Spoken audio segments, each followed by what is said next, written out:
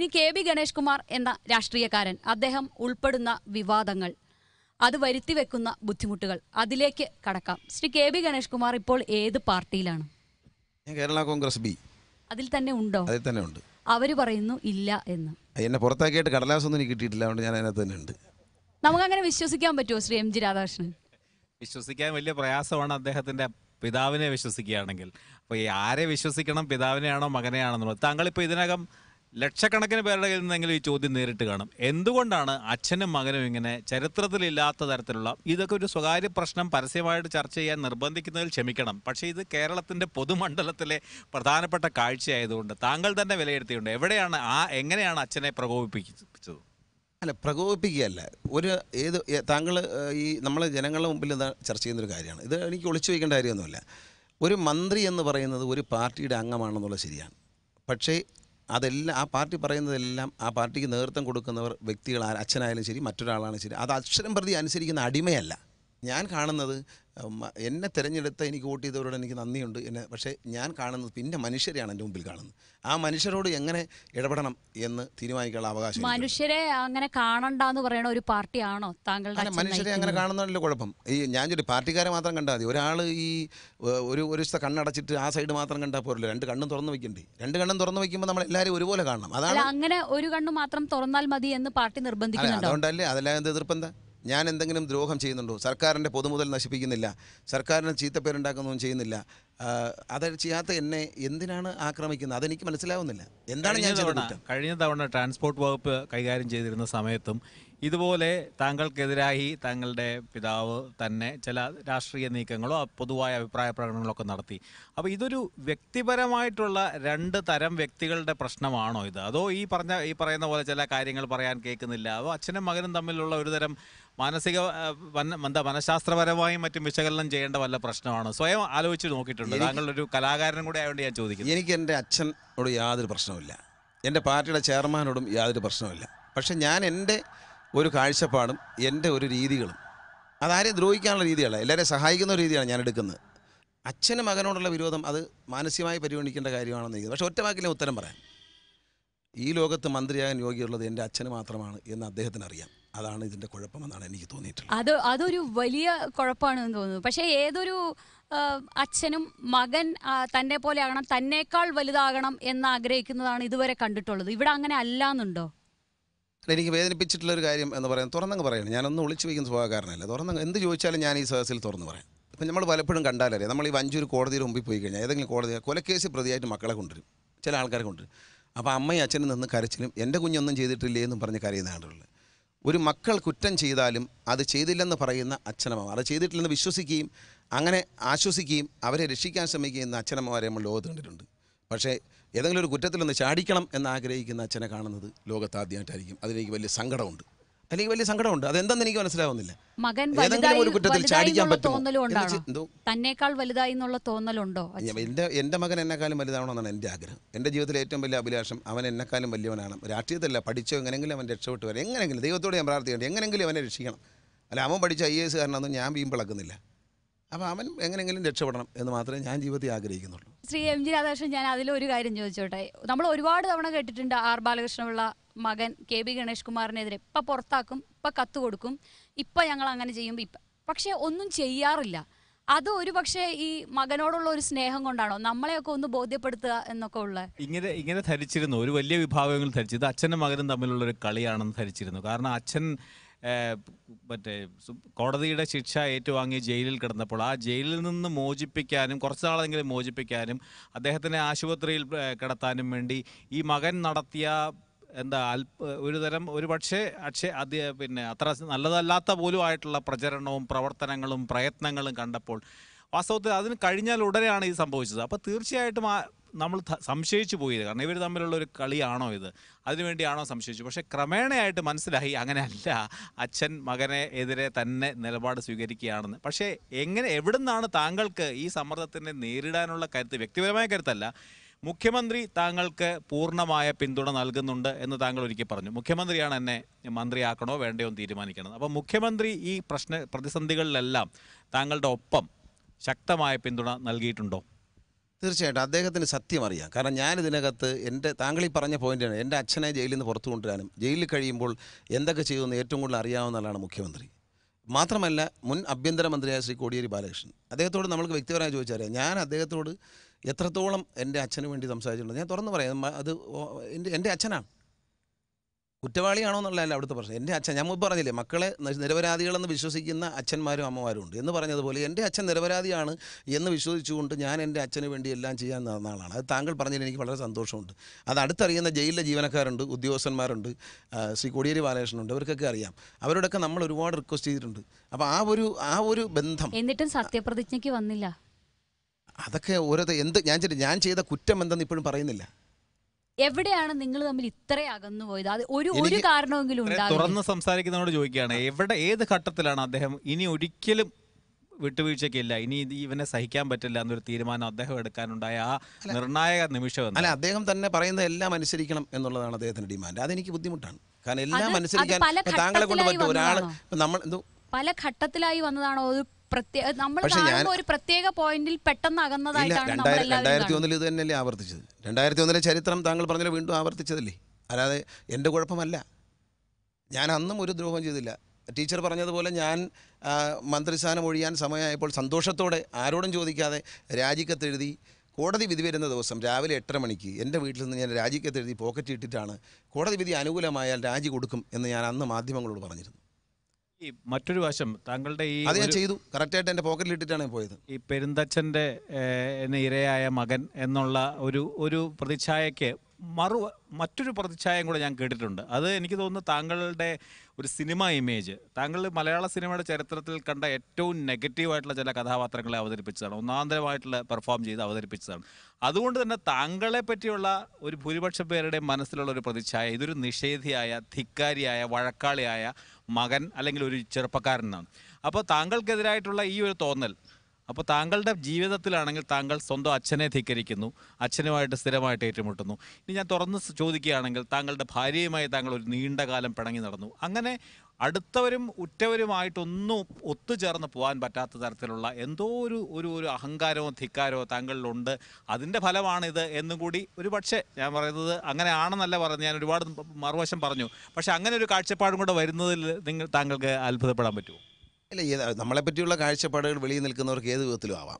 ഇപ്പം താങ്കൾ പറഞ്ഞ പോലെ ഒരു കാഴ്ചപ്പാടുണ്ടാകും. മറിച്ച് ഈ പയ്യനെ സ്വന്തം അച്ഛൻ പോലും ദ്രോഹിക്കുന്നല്ലോ. എന്നാൽ ഇവനെ ഒന്ന് സഹായിക്കാം ഇവന്റെ കൂടെ നിൽക്കാം ഇവനെ സ്നേഹിക്കാം ഇവന് വേണ്ടി ഒന്ന് പ്രാർത്ഥിക്കാം എന്ന് വിചാരിക്കുന്ന അനേക ലക്ഷം ആളുകൾ കേരളത്തിലുണ്ട്. ഇന്ത്യയിലല്ല ലോകത്ത് പല സ്ഥലത്തും ഉണ്ട്. അതുകൊണ്ടാണ് ഇപ്പോൾ ഈ രണ്ടാം ഘട്ടത്തിൽ എത്തിയത് അതുകൊണ്ടാണ് രണ്ടാം ഘട്ടത്തിൽ എത്തിയെന്നുള്ള ഭാഗ്യം. കാരണം ആ ഒരു സ്നേഹമാണ്. കാരണം അച്ഛൻ പോലും ഇല്ലാത്ത ഇവനെ എന്ന അനാഥനല്ലേ ഇവനെ സഹായിക്കാമെന്ന് വിചാരിച്ച ഒരുപാട് പേര് കാണും. എന്തോ. ഞാൻ ചോദിക്കാൻ വന്നത് ഒരു കാലഘട്ടത്തിൽ പറയുണ്ടായി ആദ്യം തുടങ്ങിയപ്പോൾ തന്നെ പറഞ്ഞ് എനിക്ക് ആരുമില്ല എന്ന് ജീവിതത്തിന്റെ പല നിർണായ ഘട്ടത്തിലും കുടുംബാംഗങ്ങൾ ആരും കൂടെ ഉണ്ടായിരുന്നില്ല. അങ്ങനെയുള്ള സമയത്തൊക്കെ തന്നെ ശ്രീ രാധാകൃഷ്ണൻ പറഞ്ഞതുപോലെ ഒരു ഒരു രാഷ്ട്രീയമായോ അല്ലെങ്കിൽ മറ്റുള്ളവരുടെ പിന്തുണയെന്നുള്ള ആ ഒരു ശക്തി അല്ലാതെ ഇത്രയും പ്രതിസന്ധികളെയെല്ലാം അതിജീവിക്കാനുള്ള ഒരു ഉൾക്കരുത്ത് ഉണ്ട്. താങ്കളുടെ വകുപ്പിലെ പല സംഗതികളും സമയബന്ധിതമായിട്ടും കൃത്യമായിട്ടും വൃത്തിയായിട്ടും ചെയ്തു തീർക്കുകയും മനുഷ്യരുടെ മുമ്പിൽ ഒരു ചിരിക്കുന്ന മുഖവുമായിട്ട് എപ്പോഴും പ്രത്യക്ഷപ്പെടുകയും ചെയ്യുന്നതിന്റെ ഉൾക്കരുത്ത് എന്താണ്? ഞാനെപ്പോഴും പറയാറുണ്ട് ഞാൻ കടുത്ത ദൈവവിശ്വാസിയാണ്. മാത്രമല്ല എന്റെ ഏറ്റവും വലിയ വിശ്വാസം സത്യമാണ്. ഞാൻ പലരെയും ഇങ്ങനെ കീ പോസ്റ്റുകൾ വെച്ചു എന്ന് പറയുന്നത്. സിനിമ എന്ന് പറയുന്നത് രാഷ്ട്രീയമില്ലാത്തൊരു മേഖലയാണ്. അതിൽ ജാതിയില്ല അതിൽ മതമില്ല. അവിടെ പിന്നെ നമ്മൾ ജാതി മതം ചെയ്ത് സിനിമയുമായി ബന്ധപ്പെട്ട ഒരു ഒരു കമ്മിറ്റിയിൽ. ഇപ്പോൾ പ്രിയദർശനെ ഞാൻ കൊണ്ടുവന്നു. കാരണം പ്രിയദർശനെ പോലെ കഴിവുറ്റ ഒരു ഒരു വ്യക്തിയെ ഇന്ത്യയിൽ തന്നെ ഏറ്റവും പ്രഗത്ഭനായ ഒരു സംവിധായകനെ ഞാൻ അദ്ദേഹത്തിന്റെ വിലപ്പെട്ട സമയം എന്റെ സൗഹൃദം കൊണ്ട് വാങ്ങിയെടുത്താണ് അദ്ദേഹത്തെ ചലച്ചിത്ര അക്കാദമിയുടെ ചെയർമാനാക്കിയത്. ഞങ്ങൾ തമ്മിൽ ഈഗോ ഇല്ലാത്തൊരു മനസ്സാണ്. പ്രിയനെ പോലൊരു പ്രമുഖ വ്യക്തി ഒരു ആർട്ടിസ്റ്റിക് ടാലന്റ് ഉള്ളൊരു മനുഷ്യന്റെ പൊട്ടൻഷ്യനെ നമുക്ക് അക്കാഡമിക്ക് വേണ്ടി ഉപയോഗിക്കാൻ കഴിഞ്ഞു. അതാണ് ചലച്ചിത്ര അക്കാദമിയുടെ ഫെസ്റ്റിവലിന്റെ വിജയത്തിന്റെ ഒരു പ്രധാന ഘടകം. പ്രിയദർശനെ പോലെ ഒരു വലിയ കലാകാരൻ ഇതിന് നേതൃത്വം കൊടുക്കുകയാണ്. അവിടെ പ്രിയദർശന്റെ രാഷ്ട്രീയം ആര് ചോദിച്ചു? ഏറ്റവും നിർണായകമായിട്ടുള്ള ആ സ്ഥലങ്ങളിൽ പിന്നെ ഫിലിം ഡെവലപ്മെന്റ് കോർപ്പറേഷൻ ചെയർമാനായിട്ട് വെച്ച ആൾ കോൺഗ്രസ്സുകാരനാണ്. കോൺഗ്രസ് മെമ്പർഷിപ്പ് ഉള്ള ആളാണ്. കോൺഗ്രസ് പാർട്ടിയുടെ കത്തിന്റെ അടിസ്ഥാനത്തിലാണ് അദ്ദേഹത്തെ ഞാൻ ചെയർമാനാക്കിയത്. പക്ഷേ അദ്ദേഹത്തിന്റെ എഫിഷ്യൻസി നമ്മൾക്ക് ഉപയോഗിക്കാൻ കഴിഞ്ഞത് കൊണ്ടാണ് ആ ഒരു കൂട്ടായ്മയാണ് സിനിമാ തിയേറ്ററുകൾ ഒരു നാല് തിയേറ്ററുകൾ നൂറ്റി ഇരുപത് ദിവസം കൊണ്ട് പണി തീർക്കുക എന്ന് പറയുന്ന ഒരു ഭയങ്കര ഒരു ടാസ്ക് നമുക്ക് പൂർത്തിയാക്കാം അല്ല ഗണേഷ് കുമാറിന്റെ മാത്രം എടുക്കല്ലതൊന്നും അത് ടീച്ചർ വ്യക്തി എന്ന നിലയ്ക്ക് ഇത്രയും വലിയ ഈ- പ്രതിസന്ധികളിലെ താങ്കളെ ശക്തി തന്നത് എന്താണെന്നാണ് കൊച്ചിലോട്ട് അത് പത്തൊമ്പത് വയസ്സിൽ സിനിമയിൽ അഭിനയിക്കാൻ പോയതാണ്. വീട്ടിൽ നല്ല സൗകര്യത്തിൽ ജീവിച്ചിരുന്ന ആളാണ്. അവിടെ നിന്ന് സിനിമയിൽ അഭിനയിക്കാൻ പോകുമ്പോൾ എയർ കണ്ടീഷൻ മുറിയിലാണ് ഞാൻ കൊച്ചിയിൽ കിടന്നിരുന്നത്. പക്ഷെ അവിടെ നിന്ന് ഇതൊന്നും ഇല്ലാത്തൊരു സാഹചര്യത്തിന് ഇറങ്ങി തന്നെ വീട്ടുകാരെ ധിക്കരിച്ചാണ് പോയത് സിനിമയ്ക്ക്? അച്ഛന് എതിർപ്പുണ്ടായിരുന്നു. പക്ഷേ എങ്കിലും ധിക്കരിച്ചല്ല പോയത്. അനുവദിച്ചിട്ട് തന്നെയാണ് പോയത്. പക്ഷേ പിന്നീട് ഞാൻ അതിൽ പോയി നശിച്ചു എന്നാണ് എന്റെ വീട്ടിലുള്ളവരെല്ലാം കാണാം എന്റെ അമ്മയ്ക്ക് സിനിമയോട് വലിയ ഇഷ്ടമായിരുന്നു. അമ്മ കുട്ടിക്കാലത്തെ പറയും കള്ളം പറയരുത്. കള്ളം ചെയ്യരുതെന്ന് പറയുന്നത്. അതാണ് എന്റെ മനസ്സിൽ ഇന്നും പതിഞ്ഞു കിടക്കുന്നത്. ഞാൻ എന്ത് ചെയ്യാൻ പറ്റും? എനിക്ക് അത് പറിച്ചു മാറ്റാൻ പറ്റുന്നില്ല. അങ്ങനെ വന്നപ്പോൾ എനിക്ക് ബുദ്ധിമുട്ടൊക്കെ ഉണ്ടായി. അങ്ങനെയാണെങ്കിൽ ഒരു സത്യം കൂടെ ചോദിച്ചോട്ടെ. ഇനി അച്ഛനുമായിട്ട് ഒരു കോംപ്രമൈസിന് സാധ്യത എങ്ങനെയാ കാണുന്നത് താങ്കൾ? അല്ല അച്ഛനുമായിട്ട് വ്യക്തിപരമായ ഒരു പിണക്കമില്ല. അച്ഛൻ സുഖമല്ല കിടന്നപ്പോൾ ഞാൻ ആശുപത്രി പോയിരുന്നു കണ്ടിരുന്നു കൂടെ ഉണ്ടായിരുന്നു. ജയിലിൽ കിടന്നപ്പോൾ ഞാൻ കൂടെ ഉണ്ടായിരുന്നു. അതിപ്പോ ഞാൻ പോയി കാണുന്ന പോലെയല്ലേ ഉള്ളൂ. കെ ഗണേഷ് അങ്ങനെ അങ്ങനെ സിന്ധു വരുന്നത് പോലെ അദ്ദേഹത്തിന് എന്നെ കാണാം. ഞാൻ ചെല്ലുമ്പോൾ മകനായിട്ടും കാണാം. അത് കാണുന്ന ആളിന്റെ കാഴ്ചപ്പാടാണ്. എങ്ങനെയായിരുന്നു ആ കാഴ്ചപ്പാട്? താങ്കൾക്ക് കണ്ടു. എങ്ങനെയാ അത് ഫീൽ ചെയ്തത്? കണ്ടു സംസാരിച്ചു പുള്ളി എല്ലാവരുടെ പെരുമാറുള്ള എന്നോട് പെരുമാറി എന്നുള്ളതല്ലാതെ ഔപചാരികത. അല്ല എന്നോട് ഒരു കാര്യം മനസ്സിൽ തുറന്നു പറയാണ്. കുട്ടിക്കാലം മുതൽ അങ്ങനെ വാത്സല്യം എന്നുള്ള ആളല്ല. അമ്മയുടെ അമ്മയുടെ മനസ്സിൽ എന്നെ സ്നേഹിക്കണമെന്ന് ആഗ്രഹമുണ്ട്. പക്ഷെ അച്ഛന്റെ പേടി അച്ഛനെ പേടിച്ച് അമ്മയ്ക്ക് പ്രകടിപ്പിക്കാൻ വയ്യ എന്നുള്ളതാണ് യാഥാർത്ഥ്യം. ഞാനിതങ്ങ് ഈ ഏഷ്യാനിന്റെ പ്രേക്ഷകരോട് തുറന്നു പറയാം. എന്റെ അമ്മയ്ക്ക് എന്നോട് വലിയ സ്നേഹമാണ്. സഹോദരിമാർ. സഹോദരിമാർക്കും ഉണ്ട് പക്ഷേ അച്ഛനെ പേടിച്ച് ആരും പ്രകടിപ്പിക്കുന്നില്ല എന്നുള്ളൂ സഹോദരിമാർക്ക് സ്നേഹമുണ്ട് പക്ഷേ അവർക്കും പേടിയാ. കാരണം അച്ഛൻ മഴക്കുറയെന്ന് പേടിച്ച് എല്ലാവരും പേടിച്ച് മാറിയിരിക്കുക ഇന്ത്യയും പാകിസ്ഥാനും തമ്മിലുള്ള പ്രശ്നങ്ങൾ പോലും യുദ്ധം ചെയ്തിട്ടല്ല ചർച്ച ചെയ്താണ് പരിഹരിക്കുന്നത്. രണ്ട് മനുഷ്യന്മാർ തമ്മിലുള്ള പ്രശ്നമൊന്നും ഒന്ന് തുറന്ന് സംസാരിച്ചാൽ തീരില്ലേ? ഞാൻ എന്റെ എല്ലാ ആദർശങ്ങളും ഉപേക്ഷിച്ചാൽ ഇത് നടക്കും. അത് ഞാൻ ഉപേക്ഷിക്കാം. അതിന്റെ കൂടെ ഈ മന്ത്രിസ്ഥാനം കൂടെ ഉപേക്ഷിക്കണം. പക്ഷേ എന്റെ അച്ഛനെ സന്തോഷിപ്പിക്കാൻ ഒരു വഴിയുണ്ട്. അത് ഞാൻ തുറന്നു പറയാം. ഞാൻ എന്റെ മന്ത്രിസ്ഥാനവും ഒഴിയണം. അദ്ദേഹം അത് പിറ്റേ അന്ന് തന്നെ ഉമ്മൻചാണ്ടി സാർ അദ്ദേഹത്തെ മന്ത്രി എം എൽ എ അല്ല സത്യപ്രതിജ്ഞ ചെയ്യിക്കണം. അത് കഴിഞ്ഞാൽ ഞാൻ എന്റെ എം എൽ എ സ്ഥാനം അന്ന് വൈകിട്ടോ അല്ലെങ്കിൽ വൈ അതിന്റെ അടുത്ത ദിവസമോ രാജിവെക്കണം. പത്തനാപുരത്ത് അദ്ദേഹത്തെ യു ഡി എഫ് സ്ഥാനാർത്ഥിയാക്കണം. ഇത് ഈ ഫോർമുലയ്ക്ക് ഈ പ്രശ്നങ്ങൾ പരിഹാരം കാണാം അങ്ങനെ ഒരു ഫോർമുല ഒരു ഒരു മന്ത്രിസ്ഥാനം എം എൽ എ സ്ഥാനം ഒരു ഭാഗത്ത് അച്ഛൻ അച്ഛനോടുള്ള അടുപ്പം. ഇതിങ്ങനെ ഒരു തൂക്കി നോക്കുമ്പോൾ എന്നെ തിരഞ്ഞെടുത്ത ജനങ്ങൾ സിനിമയിൽ അഭിനയിച്ച് നടന്ന എന്നെ പതിനൊന്ന് വർഷങ്ങൾക്ക് മുമ്പ് കേരളത്തിന്റെ നിയമസഭയിലേക്ക് അയച്ച എന്നെ വിശ്വസിച്ചയച്ച പത്തനാപുരത്തെ ജനങ്ങൾ. അവർക്ക് വേണ്ടി ഞാൻ തുടങ്ങി വെച്ച വികസന പ്രവർത്തനങ്ങൾ. അവരുടെ അന്തസ്സാണ്. ഞാനൊരു നല്ല മന്ത്രിയായി തിരഞ്ഞെടുക്കപ്പെടുമ്പോൾ ഏറ്റവും സന്തോഷിക്കപ്പെടുന്നത് എന്റെ നാട്ടുകാർ പത്തനാപുരത്തുകാരായിരിക്കും. എന്നെ സ്നേഹിക്കുന്നവരായിരിക്കും. ഈ പത്തനാപുരത്ത് നടന്ന ആ കുപ്രസിദ്ധമായ സമ്മേളനം അതിൽ പി സി ജോർജ് എന്ന് പറയുന്ന ഒരാളുമായിട്ടാണ് താങ്കൾ ഒപ്പം ഉണ്ടായിരുന്ന പ്രസംഗിച്ചത്. താങ്കളുടെ പ്രസംഗം താങ്കൾ അതിൽ മാപ്പ് ചോദിച്ചു അത് തെറ്റിപ്പോയി എന്ന് പറഞ്ഞു. പക്ഷേ ഇന്ന് ഈ പറഞ്ഞ പോലെ ഏഷ്യാനെറ്റിന്റെയും കേരള ജനതയുടെ മുമ്പിൽ ഇതൊരു പ്രത്യേക പരിപാടി ആയതുകൊണ്ട് താങ്കൾ അതിനെ ഇന്ന് വിലയിരുത്തുമ്പോൾ അച്ഛന് വേണ്ടിയാണ് അത് പറഞ്ഞതും അങ്ങനെയൊക്കെ ചീത്ത പേര് കേട്ടതൊന്നും എനിക്ക് തോന്നുന്നു. ഇപ്പോൾ തിരിഞ്ഞു നോക്കുമ്പോൾ താങ്കൾ ചെയ്ത ഏറ്റവും പ്രധാനപ്പെട്ട തെറ്റുകളിൽ ഒന്നായിട്ടെങ്കിലും അത് കാണുമോ? താങ്കളെ പോലെ ചെറുപ്പക്കാരനായ ഒരാളിൽ നിന്നും ഇത്രയും വിദ്യാഭ്യാസവും സംസ്കാരവുമുള്ള ഒരുപാട് നല്ല കാര്യങ്ങൾ ചെയ്യുന്ന ഒരാളിൽ നിന്നും അങ്ങനെ ഒരു വാക്ക് വരാൻ പാടില്ലായിരുന്നു. അത് താങ്കൾ അത്ര അധികം അത് മനസ്സിലാക്കിയിട്ടുണ്ടോ ആ രോഷം? ഇത് സംഭവിച്ച എവിടെ നിന്നാണെന്ന് കൂടി പറഞ്ഞിട്ട് എന്റെ മറുപടി പറയാം. എന്റെ അച്ഛൻ ജയിലിൽ പോയി. അപ്പോൾ അതിന്റെ കാരണക്കാരൻ സ്വാഭാവികമായും ബി എസ് ആണെന്ന് അദ്ദേഹം അവകാശപ്പെടുകയും അത് ഒരു പരിധി വരെ ശരിയുമാണ്. അപ്പോൾ അതൊരു മകന്റെ എന്റെ അച്ഛനോട് എനിക്ക് നിങ്ങൾ വിചാരിക്കുന്ന കണക്കല്ല അതിഭയങ്കരമായ സ്നേഹമുണ്ട്. ഏറ്റവും സ്നേഹിക്കുന്ന അച്ഛന് വേണ്ടി അച്ഛനെ ജയിലിലാക്കിയ ആളിനോടുള്ള മാനസികമായ വിഷമം. ഇനി മേലിൽ ഇവിടെ വരരുത് എന്ന് അദ്ദേഹം എന്നോട് പറഞ്ഞിട്ടുണ്ട് ജയിലിലേക്ക്. ഞാൻ മന്ത്രിയായി സത്യപ്രതിജ്ഞ ചെയ്ത് ആദ്യമായി ചെല്ലുമ്പോൾ എം എൽ എ ആയി സത്യപ്രതിജ്ഞ ഞാൻ ആദ്യം എം എൽ എ ആയി തിരഞ്ഞെടുത്ത് ചെല്ലുമ്പോൾ അച്ഛൻ പറഞ്ഞത് നിന്റെ എം എൽ എ സാറെ ഞാൻ കളയും എന്നാണ് എന്നോട് പറഞ്ഞത്. അപ്പോൾ അത് എനിക്ക് സഹിക്കാൻ. ഈ ഒരു മാനസിക സംഘർഷത്തിനിടയിൽ ഒരു പൊതുവേദിയിൽ ആൾ കൂടിയപ്പോൾ എന്റെ വല്ലാത്ത ബി പി ഉള്ള ആളാണ് ഞാൻ. ആ സമയത്ത് ഞാൻ അറിയാതെ എന്റെ ജീവിതത്തിൽ പറ്റിയ ഏറ്റവും വലിയ തെറ്റാണ് വി എസിനെ കുറിച്ചുള്ള പ്രസംഗം എന്ന് ഞാൻ എവിടെയും പറയും. ഞാനത് പറഞ്ഞിട്ടുണ്ട്. ഒരു തവണ ഖേദം പ്രകടിപ്പിച്ച് മാത്രമല്ല ആവർത്തിച്ച് പറഞ്ഞു. കാരണം എന്റെ അദ്ദേഹത്തിന് എന്റെ മുത്തശ്ശന്റെ പ്രായമുണ്ട്. ഞാൻ പറയാൻ പാടില്ലാത്തതാണ് പറഞ്ഞത്. അത് തെറ്റ് തന്നെയാണ്. അത് നൂറ്റൊന്ന് ശതമാനം തെറ്റാണ്. അതിനകത്ത് എനിക്ക് യാതൊരു സംശയം അക്കാര്യത്തിലില്ല അതുപോലെയുള്ള ഒരു പദപ്രയോഗം ഇനി ഉണ്ടാവില്ല എന്ന് താങ്കൾക്ക് ഒരിക്കലും ഒരിക്കലും ഉണ്ടാവില്ല. ആ കാഴ്ചപ്പാടും ആ മാനസികാവസ്ഥയും ഞാൻ മാറ്റി. എനിക്ക് ആ മാനസികാവസ്ഥ വേണ്ട. ആ മാനസികാവസ്ഥ ഞാൻ എന്തിനു വേണ്ടി ആ മാനസികാവസ്ഥ എടുത്തു? ആ മാനസികാവസ്ഥ ആർക്കു വേണ്ടി എടുത്തു? ആ വ്യക്തി എന്നെ വേദനിപ്പിച്ചതിന് അതിരുകളില്ല. ഞാൻ മലയാള സിനിമയിൽ എന്റെ കൂടെ വർക്ക് ചെയ്തിട്ടുള്ള ഒരുവിധ ആൾക്കാരുടെ എല്ലാം വീട്ടിൽ പോയിട്ടുണ്ട്. അവിടെയുള്ള വ്യക്തികളെ എനിക്കറിയാം. അപ്പോൾ എനിക്ക് എന്റെ സൗഹൃദം വളരെ വലുതാണ്. ഈ സുഹൃത്തുക്കളുടെ കൂട്ടത്തിൽ താങ്കളുടെ വീഴ്ചയുടെ ഒന്നും അല്ലാതിരുന്ന കാലത്തുണ്ടായിരുന്ന സുഹൃത്തുക്കളെയും ഇതേ രീതിയിൽ കാണുകയും സ്നേഹബന്ധം ഇപ്പോഴും തുടരുകയും ഉച്ചനേജത്വം ഇല്ലാതെ അവരോട് ഇടപെടുകയും ചെയ്യുന്നുണ്ടോ? തീർച്ചയായിട്ടും. അവരോട് ചോദിച്ചാൽ അറിയാം കാരണം ഞാൻ എന്നെ സംബന്ധിച്ച് ഈ പത്ത് പേരിൽ എണ്ണാവുന്ന സുഹൃത്തുക്കളാണ് എന്റെ ആത്മമിത്രങ്ങൾ. എന്നെ സംബന്ധിച്ച് പറഞ്ഞാൽ നമ്മുടെ നാട്ടിൽ പറയും ഈ നായ്ക്കാണ് ഏറ്റവും നന്ദി എന്ന് പറയും. അതിനേക്കാൾ നന്ദി എനിക്കുണ്ട്. താങ്കൾ പറഞ്ഞു എന്റെ കുടുംബജീവിതം പോലും ഒരു ഘട്ടത്തിൽ മാറിപ്പോയി. പക്ഷെ നിങ്ങളെല്ലാം മനസ്സിലാക്കണം ആ ആ സംഭവങ്ങൾ പരിഹരിച്ച് തിരിച്ചു കൊണ്ടുവന്ന് ഞാൻ തന്നെയാണ് മധ്യസ്ഥരല്ല. എന്റെ മകന് വേണ്ടി കാരണം എന്റെ മകൻ ഇന്ന് ഒരു എന്റെ കൂടെ ഒരു സിനിമയ്ക്ക് വരുന്നുണ്ടെങ്കിൽ അല്ലെങ്കിൽ എന്നോടൊപ്പം എന്റെ കാറ് അവൻ എടുത്ത് അതിനകത്തുനിന്ന് കയറി എന്റെ കൂടെ യാത്ര ചെയ്യുന്നുണ്ടെങ്കിൽ ആ മകന്റെ ആ സന്തോഷത്തിന് വേണ്ടിയാണ് ഞാനത് ചെയ്തത്. അതേ മനോഭാവം വിട്ടുവീഴ്ച അച്ഛനുമായിട്ടുള്ള പ്രശ്നത്തിൽ ഉപയോഗിക്കാൻ പറ്റില്ല? ഒരാൾ മാത്രം വിട്ടുവീഴ്ച ചെയ്താൽ തീരില്ലല്ലോ ഈ സംഭവങ്ങളൊന്നും. ഞാൻ പറഞ്ഞല്ലോ ഈ വിട്ടുവീഴ്ച ഒറ്റതേ ഉള്ളൂ. ഞാൻ പറഞ്ഞ ഫോർമുല മാത്രമേ ഉള്ളൂ വിട്ടുവീഴ്ചയായിട്ട്. ആ ഫോർമുല വേണോ വേണ്ടയോ എന്ന് ആ ഫോർമുല വേണോ വേണ്ട ഇന്ന് ഇത് പ്രശ്നം പരിഹരിക്കാം. ഞാൻ പറഞ്ഞ ആ ഫോർമുല പ്രയോഗിച്ചാൽ ആ ഫോർമുല പ്രയോഗിക്കണോ വേണ്ടിയെന്ന് കേരളത്തിലെ ജനങ്ങളാണ് തീരുമാനിക്കേണ്ടത്. പക്ഷേ എന്നെ തിരഞ്ഞെടുത്ത ജനങ്ങളോട് ഞാൻ വഞ്ചന കാണിക്കുന്നത് ശരിയല്ല. അവരെനിക്കാണ് വോട്ട് ചെയ്തത്. ഞാൻ അച്ഛൻ വരുമ്പോൾ മാറിക്കൊടുക്കാൻ വേണ്ടി തന്ന വോട്ടല്ല. ഇയാൾ വോട്ട് ചെയ്യാണ്. ഇയാൾ ഇയാൾ അച്ഛൻ ജയിലിൽ നിന്ന് വരുമ്പോൾ മാറി കൊടുക്കണം കേട്ടോ എന്നും പറഞ്ഞ് ആരും വോട്ട് ചെയ്തില്ല. ഗണേഷ് കുമാർ എന്ന് പറയുന്ന ഒരു സാധാരണ പൊതുപ്രവർത്തനം കിട്ടിയ ഒരു അംഗീകാരവും സഹായവും ആണ് ജനങ്ങളുടെ ഭാഗത്തു നിന്ന്. അതെങ്ങനെയാണ് നമ്മൾ ഉപേക്ഷിക്കുന്നത്? ഇപ്പൊ പത്തനാപുരത്തെ ജനങ്ങൾ അർപ്പിച്ചിരിക്കുന്ന വിശ്വാസത്തെക്കുറിച്ച് ആവർത്തിച്ച് ആവർത്തിച്ച് പറയണ്ടേ? ഈ സഭ അല്ലെങ്കിൽ ഈ കാലാവധി തീർന്നാൽ അടുത്തൊരു തെരഞ്ഞെടുപ്പിലേക്ക് പോകുമ്പോൾ സ്വതന്ത്രനായിട്ടായിരിക്കോ കേരള കോൺഗ്രസ് ബി സ്ഥാനാർത്ഥിയായിട്ടായിരിക്കോ അതോ രാഷ്ട്രീയം വിടുമോ?